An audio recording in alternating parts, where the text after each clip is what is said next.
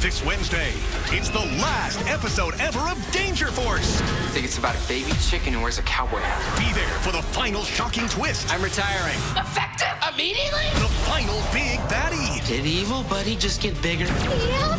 And the final battle that'll make you lose your mind. This severed head you keep talking about? Is it me? Yes. Don't miss the epic one hour series finale of Danger Force. Wednesday at 7 on Nickelodeon.